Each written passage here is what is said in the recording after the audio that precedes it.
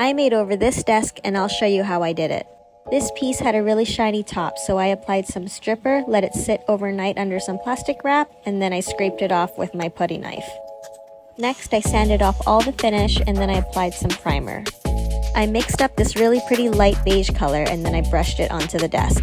Then I went over with a foam roller to make sure it was really smooth. After two coats of that, I peeled off the tape. Next, I added 3 parts water to the same paint to create a paint wash.